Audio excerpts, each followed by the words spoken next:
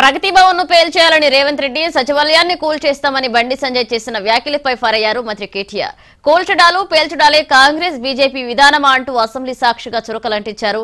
ఇలాంటి వాళ్ళకు పాలన అప్పగిస్తే ఇక అంతే సంగతులంటూ ఎద్దేవా చేశారు మంత్రి కేటీఆర్.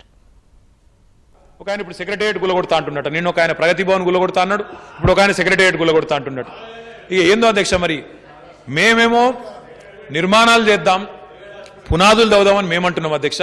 వాళ్ళేమో ఒక ఆయన సమాధులు దవ్వుతా అంటాడు. ఇంకొక ఆయనేమో బాంబులు పెట్టి పేలుస్తా అంటాడు. ఈ అరాచక శక్తులు వీళ్ళ చేతుల్లో రాష్ట్రం పడితే ఏమవుతుందో ఆలోచించాలని చెప్పి కూడా నేను మిత్రులందరినీ కూడా అడుగుతా ఉన్నా అధ్యక్ష. పచ్చగా ఉన్న తెలంగాణ పచ్చని మాగాణంగా మారిన తెలంగాణ పిచ్చోళ్ళ చేతిలో పెట్టవద్దని చెప్పి నేను ఖచ్చితంగా